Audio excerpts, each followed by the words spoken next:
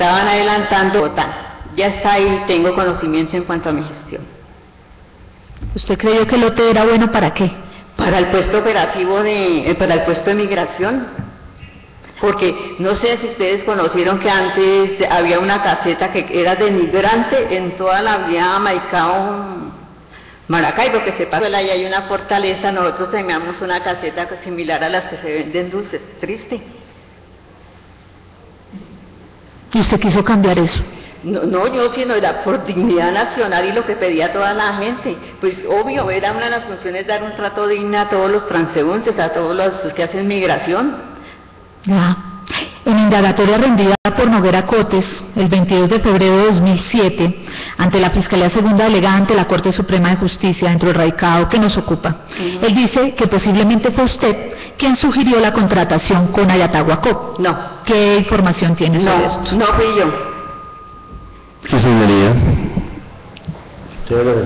Muchas gracias. Eh, en primer lugar, esa indagatoria a la que hizo alusión la doctora fue anulada por la Honorable Corte en virtud de la decisión por de la cual se, retrotrajo toda la actuación hace unos meses. Y en segundo lugar, pues el tema de Ayatahuacop, eh, pues como no genera ninguna eh, incriminación contra el doctor Noguera, pues no hemos aceptado las preguntas, pero ya van bastantes y desde el momento de la acusación eh, la Fiscalía reconoció y, sobre eso no versa la acusación, dijo que ahí no había ninguna conducta irregular. Entonces la objeción iría un poco más al tema de pertinencia en relación con los cargos que se han planteado en la acusación. Muchas gracias. Doctora. Honorable magistrado, la diligencia indagatoria tiene una doble naturaleza, como acto procesal, como mecanismo de defensa, pero también resulta medio de prueba, en la medida que de ella se pueden extractar conclusiones por el administrador de justicia. Teniendo en cuenta que la decisión de esta honorable Corte ha sido mantener los medios de prueba, hemos considerado que todo lo que tiene que ver en relación con las diligencias rendidas por este eh, por el procesado en estos casos se mantienen. E, ese es el sentido frente a las preguntas en relación con estas diligencias que se han realizado.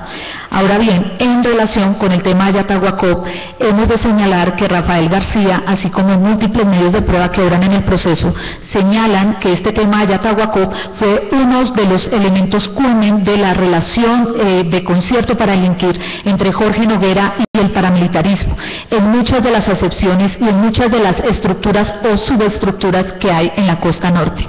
En estas condiciones rogaría a ustedes se permitiera continuar el interrogatorio en este sentido. La objeción puede dar respuesta a la testigo de la no, estoy diciendo que no fui yo la que sugerí, puesto que mi labor se concretó a adelantar los trámites ante, ante la um, alcaldía de Maicao, donde ese lote estaba en comodato a Telecom, y ya se informó al nivel central para que ellos hicieran lo propio con Telecom, que la manejan directamente en Bogotá. Informe, por favor, porque usted ha también manifestado en, en, una de las declaraciones que rindió ya en este caso, que eh, usted presentó un proyecto en relación con estos terrenos eh, que comenta usted son de Telecom. Informe cuánto tiempo duró la discusión y preparación de ese proyecto. No, mire, cuando yo como dije que dije anteriormente que fui afortunada, en cuanto llegué y fui a conocer dónde iba a trabajar y, cuáles eran las debilidades y fortalezas y me doy cuenta de la situación del de puesto migratorio y cuando eh, fue conocido creo que a nivel nacional el Consejo Comunal donde toda la ciudadanía se quejaba, yo solicité y envié a, nivel central para que se estudiara la posibilidad de se hicieran las apropiaciones para construir un CENAP, CENAP, sí, como el que hay en Ipiales, donde confluyen todas las autoridades migratorias, y que se hiciera un trato y nos daba la afluencia de población que era en la época que venían tanto de Venezuela como salían a, especialmente en los puentes festivos en intercambio, los colombianos iban a Venezuela y los venezolanos venían a Colombia. En declaración, en esta declaración a la que le he venido aludiendo, la del 24 de septiembre de 2008, dada por usted bajo la grada del juramento, usted manifestó lo siguiente, hablo comillas. Cuando llegué entendemos a la seccional Guajira, estaba cuestionada la parte migratoria porque se tenían que hacer unas filas inhumanas hasta Venezuela. Hubo un consejo comunal que al presidente le reclamaron porque no arreglaba ese puesto. Yo estaba recién llegada. Había muchos políticos de allá. Mi sorpresa fue llegar y visitar de viva voz y de cuerpo entero presente el puesto de Paranguanchón, que era lamentable. Unas filas por todo el centro de la vía. Se hizo un proyecto que se envió a Bogotá teniendo en cuenta lo que ya había dicho el presidente y que nosotras ya habíamos sido proactivas y se había avanzado. Se mandó eso a Bogotá para que ellos hicieran lo propio en la parte de planeación y Secretaría General, que son los encargados. No obstante, usted ha manifestado el día de hoy que el tema de este puesto de Paraguanchón fue un asunto que emergió de usted por un tema de dignidad nacional. Como usted observa, en esta declaración suya, usted advirtió que había iniciado los procedimientos por las manifestaciones del presidente Uribe en un consejo comunal. ¿Con cuál de sus dos versiones debe quedarse esta audiencia? Con las dos me quedo porque las dos son ciertas. Mire, cuando yo llegué a Paraguachón vi esas filas interminables, señoras embarazadas con niñitos que entraban. Tenemos suficiente descripción. Le agradezco me comente en específico cuáles son las Por favor, por favor, deje responder a la testigo.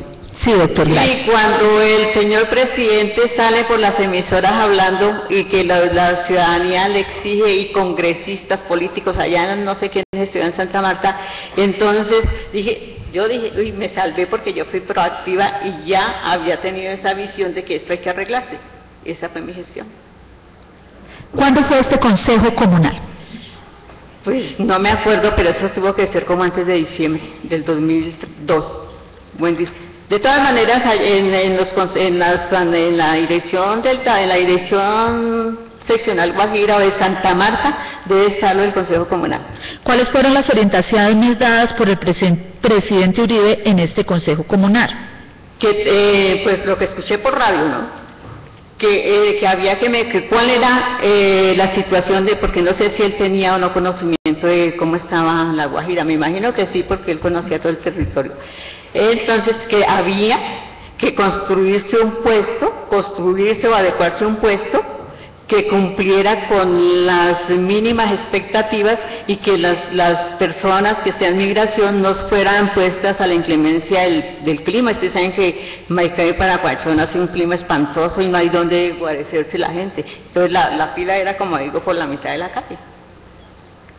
Teniendo en cuenta que había sido una disposición en un consejo comunal, por favor informe quién se encargó desde la presidencia de hacer seguimiento al cumplimiento de este arreglo del puesto fronterizo. No, no tengo conocimiento quién se encargó, pero yo sí hice lo que tenía que hacer eh, de acuerdo a mis funciones, pero de la presidencia de la República no tengo conocimiento.